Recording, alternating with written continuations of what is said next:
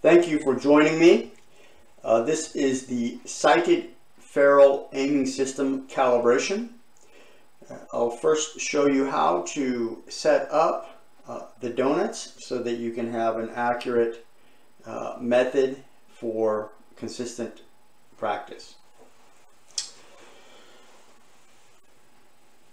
First thing to do is to actually draw on your ferrule the sighting.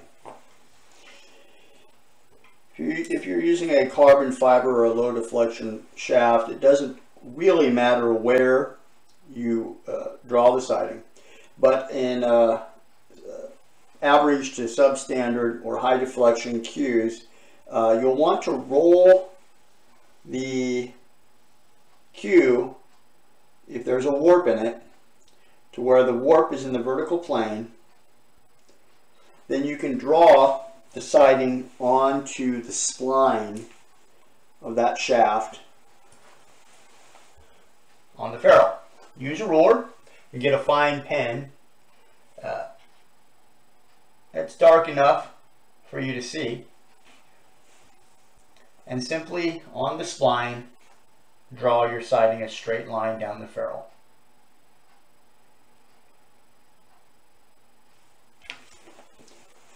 That simple. Next, we need to set up the three donuts for your consistent calibration. You're going to want to aim through the head spot or the foot spot. And run the line to the heart of the corner pocket through that center spot on the table. Then about two, two and a half, three balls, your choice, from the rail, you're going to place the first donut.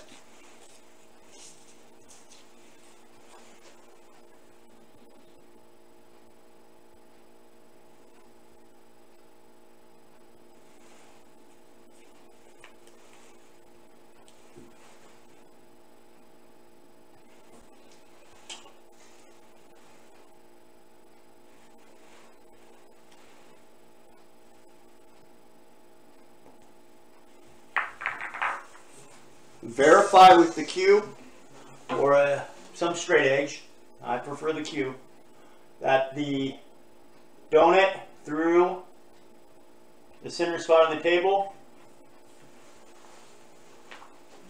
lines up with the heart of the corner pocket.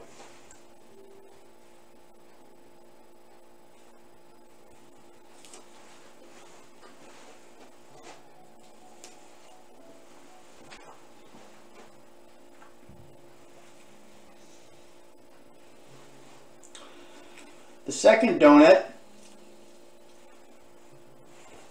you're going to place two balls, again two or three depending on how you want to uh, do your setup.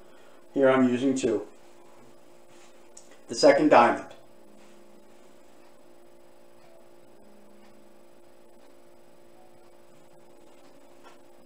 Now, take your cue ball and place it at a 45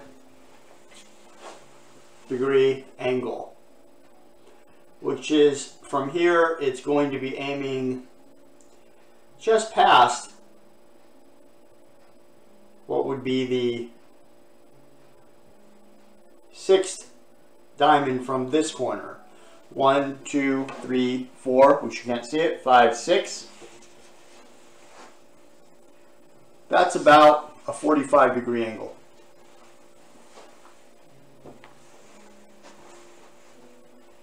Roll the ball forward slightly until you can place the two balls behind, then roll it back to where they're frozen. This is where you will be putting your donut.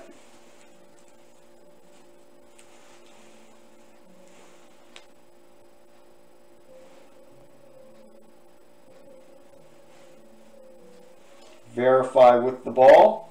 As you can see, I'm off by about a quarter inch.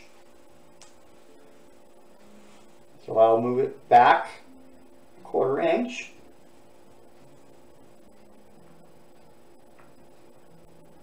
Till it is on that spot. Another fine adjustment.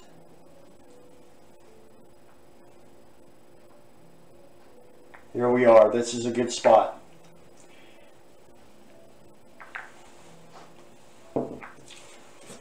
Now for the final donut,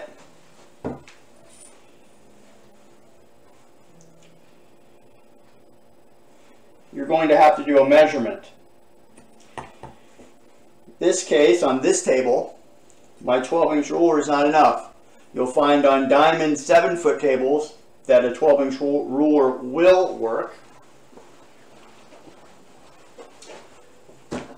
This is an 8 foot table, common to a lot of homes. So I'll have to use another measurement device here. And it turns out to be exactly 14 13 and 7 eighths inches. So, I'll need to place my final diamond halfway between there.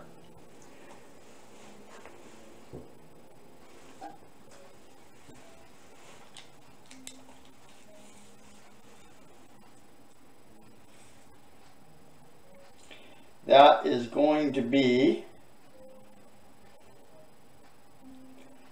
six and 15 sixteenths. So about seven inches, that should do it. It's a little less, so.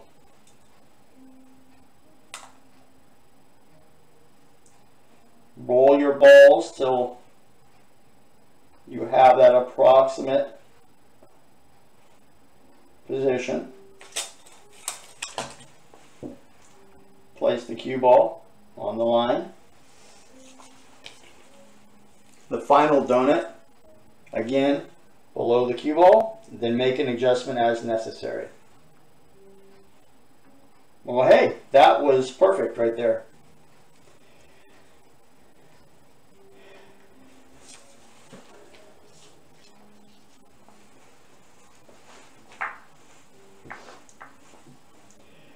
So these are the basic three donuts.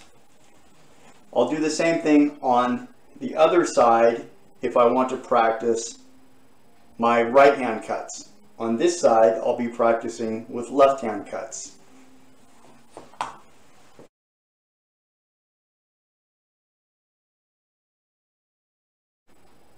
Okay, let's begin the sighted ferrule aiming calibration exercise. For the first shot, place the one in the head spot with the image of the one aimed in a vertical position at the heart of the corner pocket. Verify it straight in. Place the cue ball on the first donut closest to the side pocket. For this shot, it's essentially a straight shot line up the sighting at the 12 o'clock position, which is on the top of the cue. This position is good for angles left or right, 0 to 12 degrees. Step back away from the ball. Do your pre-shot routine. Come down onto the shot with the sighting aimed through the cue ball at the target one stroke and execute when ready.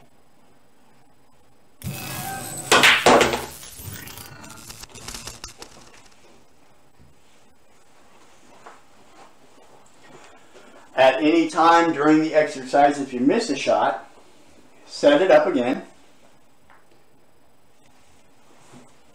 Go back, check your vision center, your pre-shot routine, your stance, your stroke. Make adjustments as necessary until you can consistently make the shot. That's why this is called a calibration. For the second shot, Line the one up again in the head spot with the one vertical aimed at the heart of the pocket.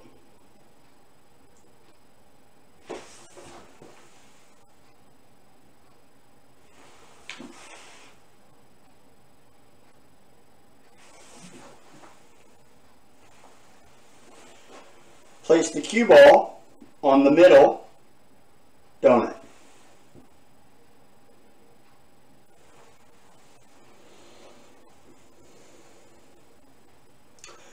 Now, this is a left-hand cut, so we'll, we'll be wrote, and it's greater than 12 degrees. It's actually about 22 and a half degrees. Uh, so we'll be rotating the ferrule, the sighting, into the 1030 position for the left-hand cut. If it were a right-hand cut, I would be rotating the sighting into the 130 position. This is good for, I like to use it for cuts from 12 to about 30 degrees can go a little farther. Um, very, it gets a little sketchy when the pocket difficulty gets high and uh, the, uh, the tip diameter gets a little small. So you're safer to go between 12 and 30 degrees. Now there's two ways to execute the shot. One is you preliminarily rotate the sighting into the 1030 position, step back, go down onto the shot with the sighting aimed at the target. That's a little challenging, takes some practice. In the beginning, you'll do it this way. Rotate the sighting into the 12 o'clock position, step back away from the ball, do your pre-shot routine, go down onto the shot with the sighting aimed at the one. Then rotate the sighting into the 1030 position. You will no longer be aiming at the 1. The sighting won't. You then make an adjustment to the sighting to aim at the 1. Stroke and execute when ready.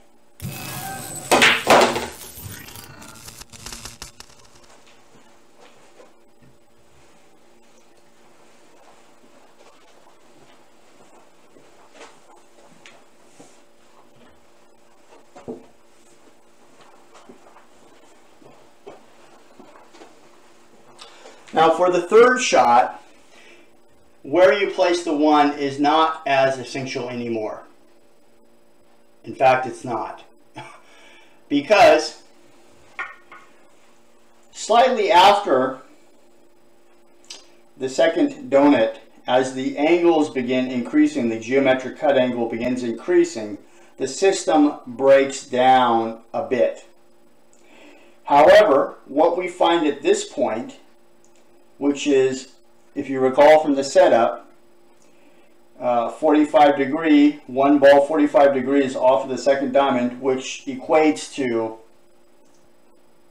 basically the ghost ball into the corner pocket.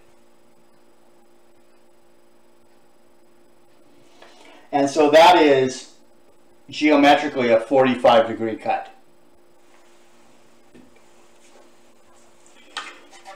To make that, if you aim at the one, it will not go in. So at this point, for the 45 degree cut, you want to aim at, depending again on tip di diameter, at about half ball or most likely a hair beyond. So you want to aim at a hair beyond, or what I guess we call also thin, you may call it thin, uh, to the half ball position. Again, the same process where you can begin with the sighting rotated. In this case, it's going to be the 9 o'clock position for a left-hand cut. If this was a right-hand cut into the side on this side of the ball, uh, I would rotate it into the 3 o'clock position and use that sighting. Here, we're at the 9 o'clock position. And again, as you uh, gain skill in this, you can preliminarily begin there go down onto the shot with the sighting in the position. For now, as you're learning this, place it again in the 12 o'clock position, step behind the ball, do your pre-shot routine, go down onto the shot with the sighting aimed at half ball. Then rotate the sighting into the 9 o'clock position. Again, you'll note you are no longer, the sighting is no longer aiming at the half ball. It's aiming thick or inside. You then make a slight adjustment to where it's aiming at half ball or a hair thin of that half ball. Stroke and execute when ready.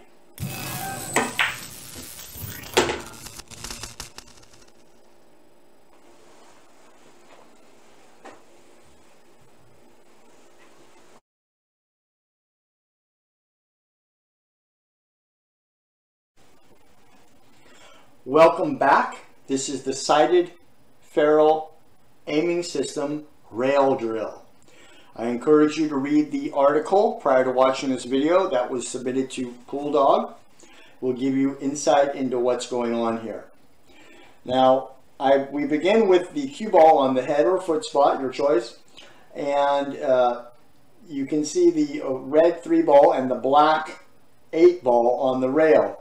Now, when you uh, correspond this with the article, the graphics there you'll see, and I'll probably put it on this video, the red three ball is going to represent the range, uh, in range of the uh, one kind of sighted ferrule aiming, one aiming point with one of the sightings, and the black ball uh, from its position down to the corner will represent the second.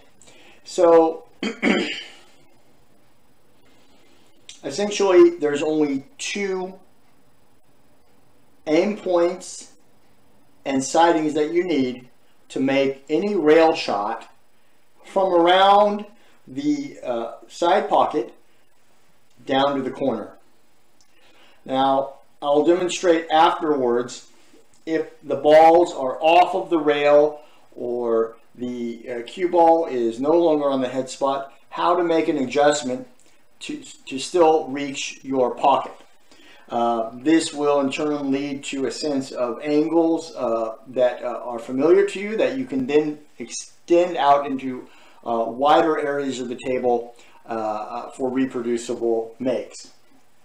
So let me begin by demonstrating with the top of the range here at the in front of the side pocket the sighted ferrule aiming point to make the ball in the corner down the rail. So like in the uh, previous vid video for sighted, the sighted ferrule, in this uh, shot, you're going to be using the three o'clock uh, position because I'm doing a right hand cut and I'll be aiming at uh, half ball thin. So just a hair past half ball. I want you to note something.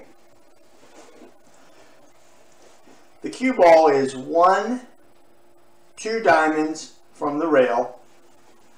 And from that point, the three ball is one, two diamonds from that head string. This creates a 90 degree triangle with two 45 degree angles. So there's your 45 degree angle. Let me demonstrate this.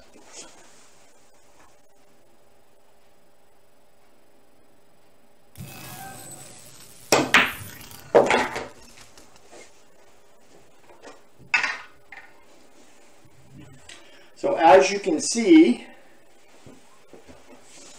using the 3 o'clock sighting and aiming at just past thin hair uh, of the half ball, uh, that will make the ball in the corner pocket pretty directly down the rail. So we can move this down to, let's say, the third diamond from the corner.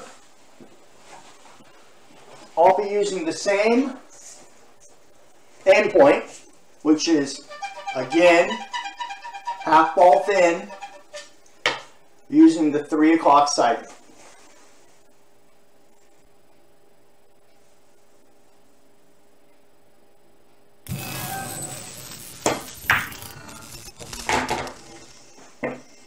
Seems to work.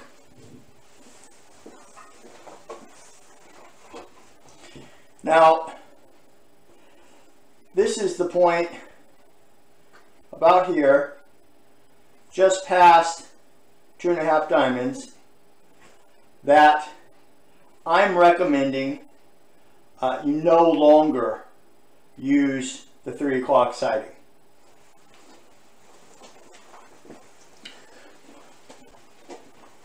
However, if you wished, and the ball were beyond that point, you can use the 3 o'clock sighting, but instead of aiming at half ball thin, you could aim it right at half ball. Or if it was farther down the rail, you could aim half ball thick, just a, a hair inside of the half ball. And that would pocket the ball for you. However, I'm not recommending that. So what I'm recommending is that at this point, at two and a half diamonds, to use the 12 o'clock sighting and aim directly at half ball. Now what I want you to see again is the triangle here. The line between the 8 ball and the cue ball. What we have here is again the cue ball is one, two diamonds on the short rail and the object ball is one, two, three and a half. Right there, baby. Three and a half balls, three and a half diamonds from the head string. So if you look at a 90 degree triangle that has a 30 degree and 60 degree component um, angles, this is what you're going to see. And so that angle right here is 30 degrees, which means that the supplemental cut angle right here, if you could watch, see the rail and the cue right there, this angle right here, that is what's called the cut angle actually on the other side of the ball. That is uh, the geometric cut angle which is 30 degrees. Well, that calls for a half ball hit. Now again, you can make it with the 3 o'clock sighting, but you have to start going thicker and thicker. However, I'll aim with the 12 o'clock sighting and aim directly at half ball.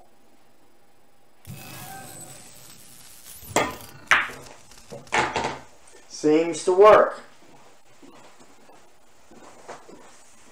What if we take it down to the first diamond? It's not exactly a 30 degree angle anymore, but it's pretty darn close. And I'll just do the same thing. 12 o'clock sighting. Aim at half ball. Goes right in. Now it will continue to work all the way down to the point.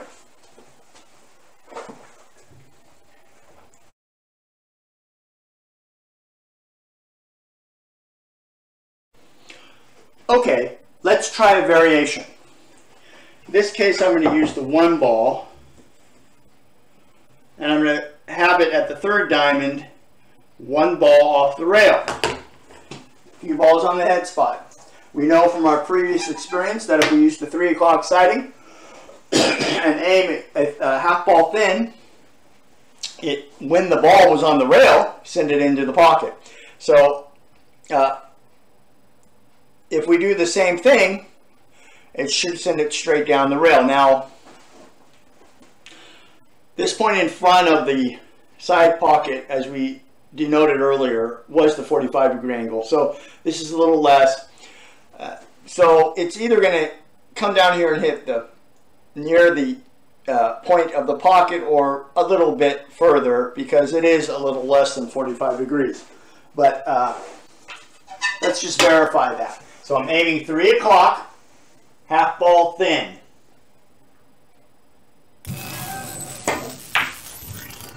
Okay. Theory worked out. So now let's set it up again. Third diamond, one ball off the rail.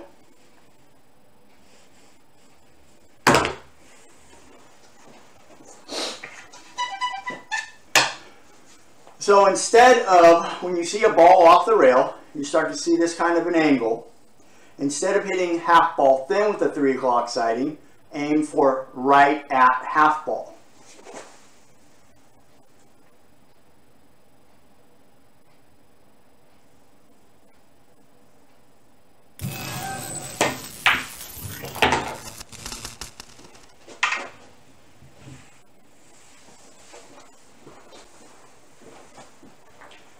Seems work.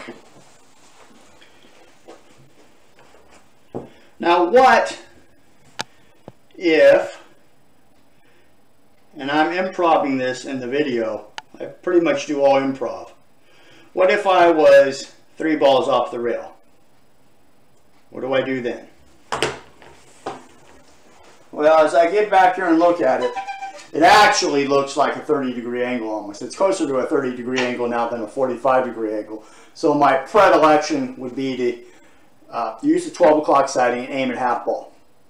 But just for experimental reasons, and you should try this too, let's see if we can try to pocket it with the 3 o'clock sighting. Well, I know that at that point, at two, one ball off the rail, it went in when I aimed at half ball. So in this case, I'm going to aim half ball thick, 3 o'clock sighting. So just a hair inside of half ball.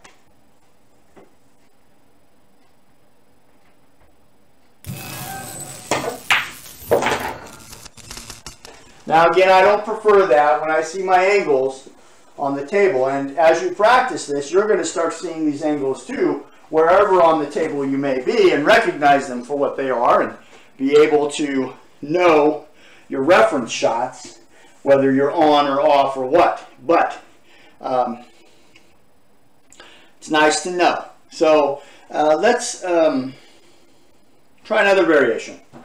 Try this. What if we are now the cue ball is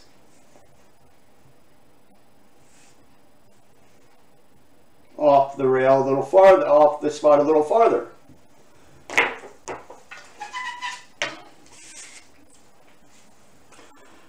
So if I use the 3 o'clock sighting and I aim it half ball thin, if this the cue ball was on the head spot, it would go in the pocket. I'm a little off the head spot. So what does that mean? It's a little bit more of a cut. However, we know that a little bit more of a cut will still put it in that the variation in length relative to the degree change in the cut angle is relatively insignificant. Still pockets. So I could probably get away with aiming right at the same spot.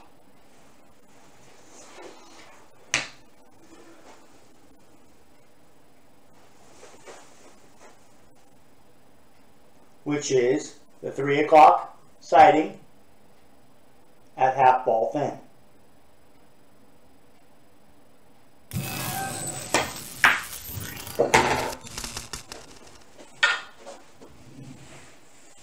Now isn't this lovely? I mean, you have basically now two, two endpoints and you can pretty much make any shot from side pocket all the way down the rail based on the reference point of the head spot. Now what you're going to get from that as you practice that more and more is you're going to end up with positions on the table that um, you know you don't know where the ball will be and you'll be able to recognize the angle this almost looks like a 30 degree angle to me now except it's actually a little um, a little less. So I just have to make an adjustment. I aim it, use my 12 o'clock sighting, name it half ball. And now I aim a little thicker. There you go.